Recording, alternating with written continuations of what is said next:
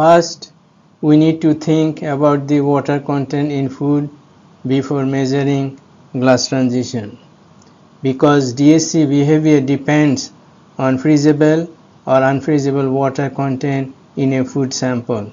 In the case of a sample containing unfreezable water, there is no formation of ice even cooling at very low temperature, whereas ice is formed in the sample containing freezable water. In this case, ice formed during cooling below 0 degree C.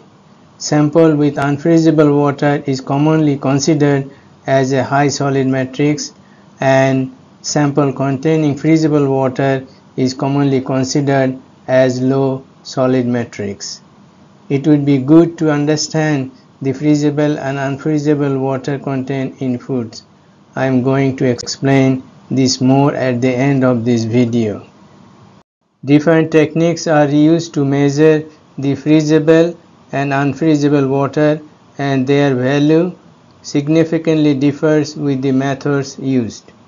In the case of frozen foods, ice is formed and different types of water are usually defined as total water, unfrozen water, ice that is frozen water and unfreezable water. It can be written as xw naught equal to xwu plus xi plus xw dash. I am going to define clearly these terms at the end of this video. First, the baseline is shifted to a second baseline. The shift is considered as glass transition.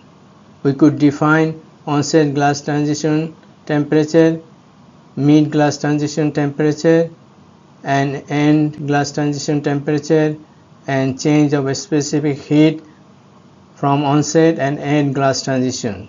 These are commonly measured characteristics.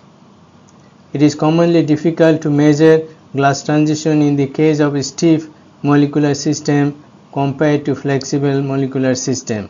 For example, the measurement of glass transitions of sugar based foods is easy as compared to starch, fiber and protein based foods.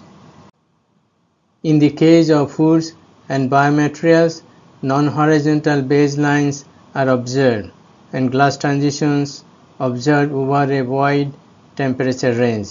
The onset, mid and end glass transition point are marked.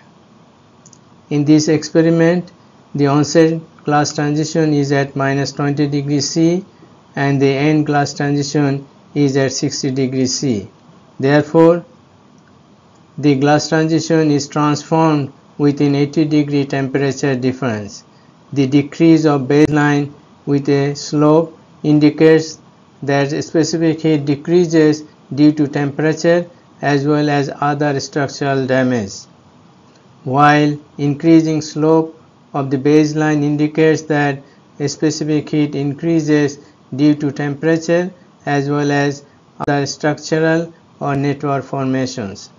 The glass transition observed over a wide temperature indicates the slow time dependent relaxation of the sample. We could also determine del Cp that is a specific heat change at glass transition. In this slide, we could observe the glass transition of a spaghetti as measured by DSC. In reality, a curved corner is observed instead of a sharp corner and in this case commonly crossing points of the two lines are considered the onset and end glass transition temperature. We could also determine del Cp that is a specific heat change at glass transition. In many instances, an exothermic or endothermic peak is observed before or after the glass transition. In this case, we could observe an endothermic peak onset, end and mid glass transitions could be determined by drawing lines as shown. The area of the endothermic peak is considered as enthalpy involved.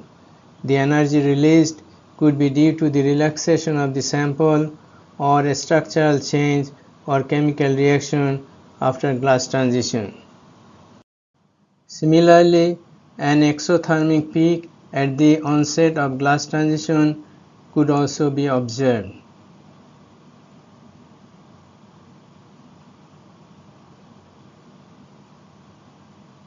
Although exothermic or endothermic peak makes heat flow curve complicated, however, it clearly confirms the glass transition. In many instances, annealing close to this peak and then second scan could remove the exothermic or endothermic peak if it is a sample relaxation issue. However, sample structure and molecular characteristics could be changed after the first scan and sample may not be the same as original sample. In many instances, glass transition is difficult to trace while a sharp and deep endothermic peak is observed. In this case, rescaling is required to visualize the glass transition. I am going to show this in the next slide. In this slide, we could observe a clear glass transition region after rescaling of the heat flow axis and temperature axis. Heat flow curve during heating is commonly used to determine the thermal characteristics since there is a lag in cooling cycle. The glass transition is also affected by the heating rate and the effect of heating rate could be used to determine the structural characteristics of biomaterial. Commonly increasing heating rate increases the glass transition that is it shifts to higher temperature. Therefore, the heating rate must be mentioned when measuring glass transition. Commonly a heating rate of 5 degrees C per minute or 10 degrees C per minute is used to determine the glass transition. Sensitivity and traceability of glass transition increase with the increase of heating rate. We could measure glass transition at different heating rate as shown.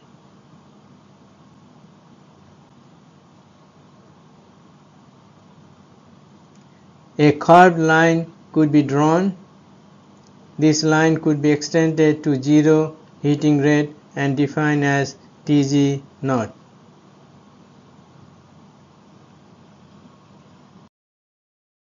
I am defining different types of water in frozen food as I mentioned at the beginning of this video.